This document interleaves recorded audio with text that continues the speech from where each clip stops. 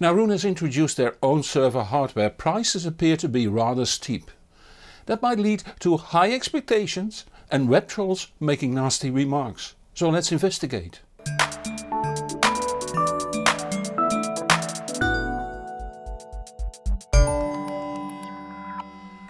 The Nucleus was already announced at High-End Munich 2017. Two models came to market, the Nucleus and the Nucleus Plus.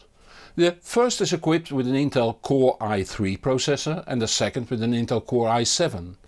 The i3 version is suited for the average user that has up to 12,000 albums in about 5 zones.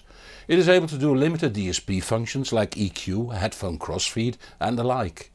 The i7 version is for power users that have even a larger catalog, more zones and or want to do DSP functions like convolution, used for room correction for instance, or heavier upsampling like PCM to DSD.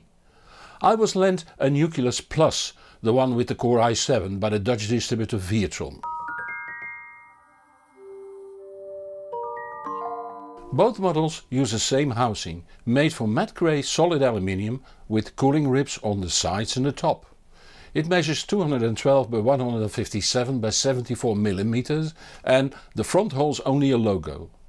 The rear is slightly more crowded with on the left a recessed power button, the 19 volts DC socket that needs to be connected to the supplied switching mode power supply, an HDMI output for if you want to connect to an AV receiver or DAC over HDMI, a Giga network port, two USB 3 sockets for connecting for instance an external drive or a USB DAC and a Thunderbolt socket that currently isn't used. When placed top down a thick metal plate can be removed by unscrewing 5 bolts. The review sample was fitted with a 220GB SSD for music storage. Far more storage can be mounted, up to 4TB SSDs are available nowadays, but they come at 1200 euros. You can also use a traditional hard disk, 9.5mm thick drives are available up to 2TB and perhaps a 15mm thick drive might just fit and those are available up to 5TB at only 175 euros. But check first, I wasn't able to try whether it will actually fit. The drive is mounted on a sturdy metal plate that also contains the PCB holding the SATA connector. When removed we see the 7th generation Intel NUC motherboard with the memory cards, under a small cushion the M.2 128GB SSD that holds the operating system, Roon core and the database, the SATA port plus power supply for the 2.5 inch drive that is connected to the SATA PCB that we saw before. We even see two USB ports and the 3.5mm headphone socket that on the normal NUC housing are accessible from the front. So it is exactly the same board as in my Intel NUC 7i7 BNH that costed me 600 euros including the 128 GB M.2 SSD and the 8 GB of memory. Let me start with the differences between the Nucleus Plus and my NUC. The Nucleus is passively cooled while my NUC has a rather silent fan for cooling. And the slot for the 2.5 inch drive in my NUC is limited to 9.5mm thick drives. But I have access to the front USBs and the 3.5mm headphone jack. At 900 euros you can buy the same NUC board plus memory and M.2 SSD card for 900 euros built into for instance the Akasa Plato X housing that is functionally the same as the Nucleus in that it allows for passive cooling. But whether you buy the original NUC or the Akasa variant you have to update the BIOS and install Roon Rock yourself. With the original NUC you often have to mount the SSD, the hard disk and the memory too. I know it's a piece of cake you will say and for many it is. But I have been paid several times by people in the industry to do that for them. So it might be a piece of cake to many, it's not to all. And then there are people that have more money than time and hire a so-called custom installer that will do all the work for them. often including the luxury several thousands of euros costing remotes. They want top quality and they want that the quality can be seen from the outside. They are quite willing to pay for it too. Those custom installers need a margin that is considerable higher than the computer industry offers them, for they have to go to the customer whenever he or she has a problem.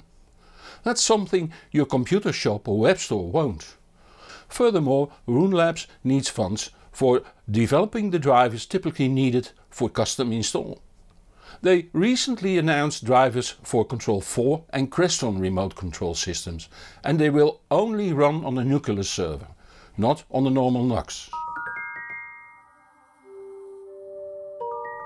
The Nucleus works the same as the Intel NUC running ROCK, so for a comprehensive description see Intel NUC Roon ROCK Part 3 how to use it. But in short it works like this. The Nucleus needs to be connected to the grid and the web. You then need a storage device for your music. This can be an internal hard disk or as SSD, an external hard disk connected over USB to the Nucleus or a share on the network like on a computer or NAS. There you store your music files. The storage in or connected to the Nucleus is accessible over the network you also need to connect an endpoint which can be a DAC connected to the Nucleus or a Roon Ready DAC, network renderer or other Roon Ready device over the network. Then you install a second version of Roon on a computer, tablet or smartphone.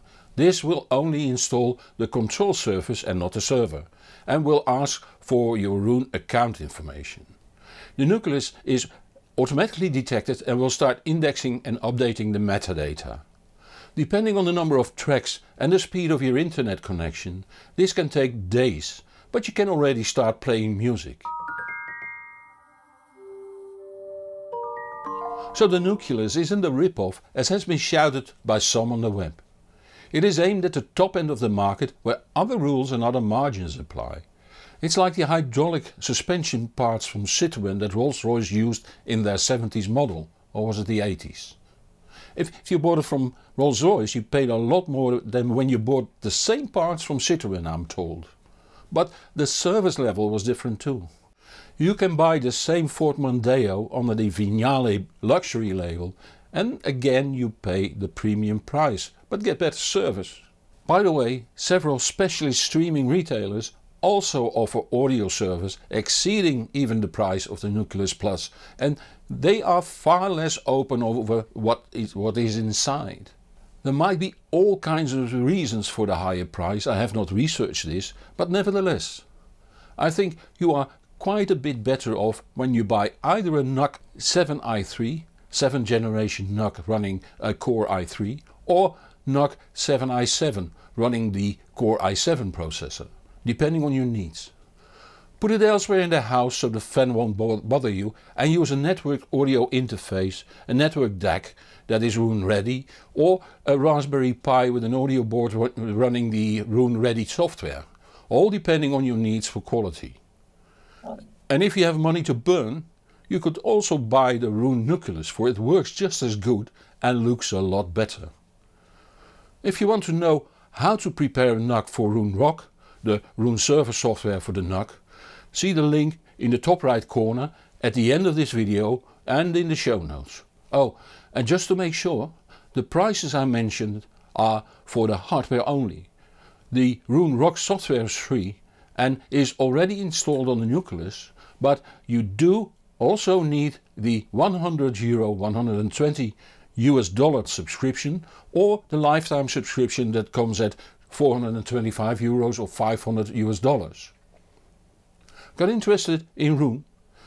A link to a complete playlist lets you learn anything I know.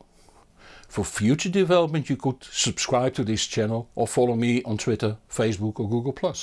If you like this video please consider supporting the channel through Patreon or PayPal. Any financial support is much appreciated and helps me to do my job even better. The links are in the show notes, just as a link to a description of my three setups. Help me to help even more people enjoy music at the home by telling your friends on the web about this channel. I'm Hans Beekhuyzen, Thank you for watching and see you in the next show or on the hbproject.com. And whatever you do, enjoy the music.